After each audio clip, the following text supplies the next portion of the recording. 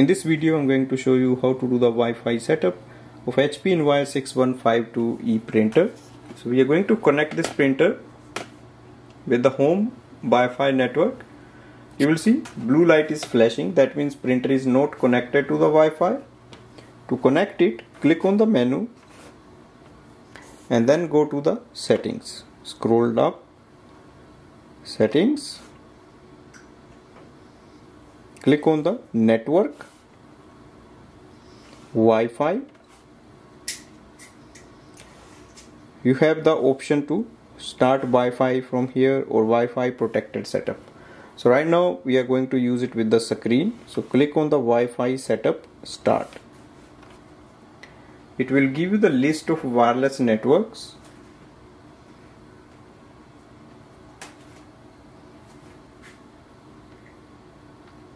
select your Wi-Fi. Click next. You have to enter the password of the Wi-Fi using this keypad. You can just use it like this. Enter the complete password and press ok. Click on the submit and press ok to confirm.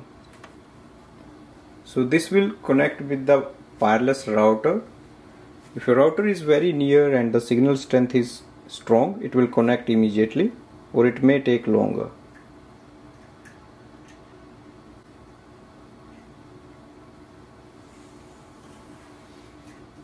Printer is connected. Press OK. The blue light becomes stable. Click on the home button. Next step is to add it in a smartphone you can download the HP Smart app and then open it. In the app click on the plus button or add printer. Select the option already connected to network second option and select HP Envy 6100E series so in the Android phone it might come little bit different but still you have to select the printer series. It will display the name of the printer and the estimated level of ink if you have a HP account you can just it may ask you to join the HP account and if you want you can skip that. And once you see this screen with your printer we are ready to use it. That's the Wi-Fi wireless setup of the printer. Thanks for watching